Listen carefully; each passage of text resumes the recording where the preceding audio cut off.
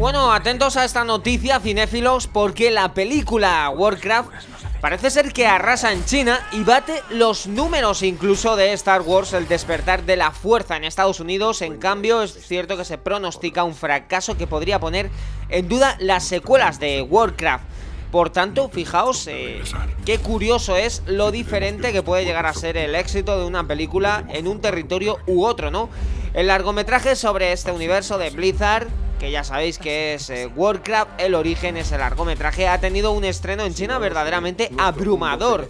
Una cifra de 47 millones de dólares recaudados en tan solo sus primeras 24 horas en cartel, algo que le permite superar la recaudación de un estreno tan importante como pudo ser Star Wars El despertar de la fuerza, que hizo entre 30 y 33 millones en su estreno.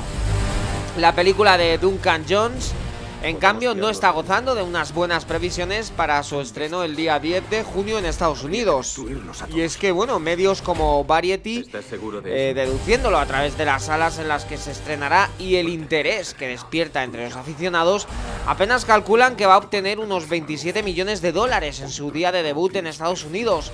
Algunos pronostican ya que esta cinta eh, denostada por la crítica, es verdad, la crítica la verdad no la ha apoyado. Podría repetirse, eh, pues, un caso parecido al que vimos en Terminator Genesis, que apenas recaudó 100 millones de dólares en Estados Unidos y que hizo más de 400 millones en el resto del mundo, con casi la mitad de, de estos ubicados únicamente en China. Parece que bueno, pues los gustos de los chinos, en este caso, son bastante diferentes a los del resto del mundo. ¿Y vosotros? ¿Habéis ido a ver ya esta película de Warcraft? Lo cierto es que yo mm, he escuchado opiniones de muchos compañeros y amigos y la verdad es que hay muchos que la recomiendan.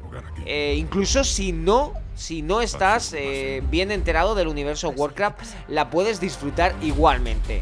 Pero bueno, veremos cómo funciona en Estados Unidos. Lo que está claro es que en China está siendo todo un éxito. Para los orcos no hay más vida que la